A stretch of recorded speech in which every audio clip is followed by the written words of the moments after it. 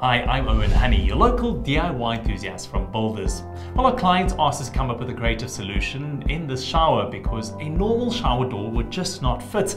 And because of the window behind us, we were limited for options. So we decided to put up a shower door screen that would be normally used over a bath.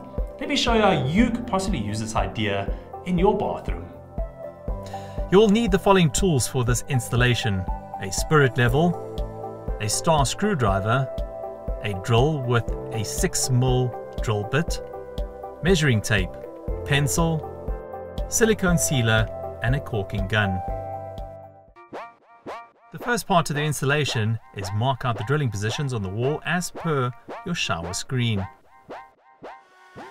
Mount the aluminium channel using the screws and plastic anchors.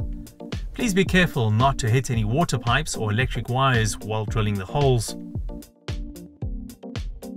Put the glass door in the aluminium channel. You might need assistance while doing this. Then fix it with the M3.5 16mm screws on the inside surface of the wall profile. Place the caps to conceal the screws. Put the hard plastic strips onto the bottom edge of the glass door.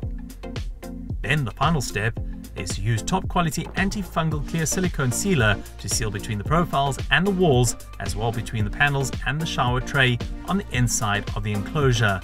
There you go, it is all done.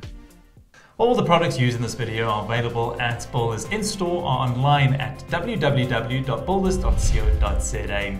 Well, for more how-to videos like this, please click on our blog on our website, gettobuilders.co.za.